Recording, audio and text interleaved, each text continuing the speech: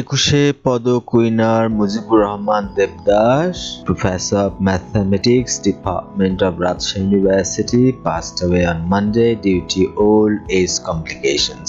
He was 90. Professor Devdas passed away at home in Mahurul village under Shodor Puzil of Jaipurhat district around 10 am on Monday, said Rajshahi University proctor Professor Lutfur Rahman. He was buried in the evening at the family graveyard at his village, he added. Professor Devdas was awarded Ekushey Padak in 2015 for his contributions to the liberation war of Bangladesh in 1971. He had taken the name Devdas in 1971 as a symbolic protest against the Pakistani occupation army's brutal persecution of Hindus in Rajshahi. Meanwhile, his decision of changing his name had cost him a lot the Pakistan army caught him and put in a torture cell for about five months. Prime Minister Sheikh Hasina today expressed profound shock and sorrow at the death of Mujibur Rahman. In a condolence message, she said Dr. Rahman had created a unique example of bravery for the motherland after being tortured physically and mentally by Pakistani forces during the Liberation War. The Prime Minister prayed for the eternal salvation of the departed soul and expressed sympathy for his bereaved family members.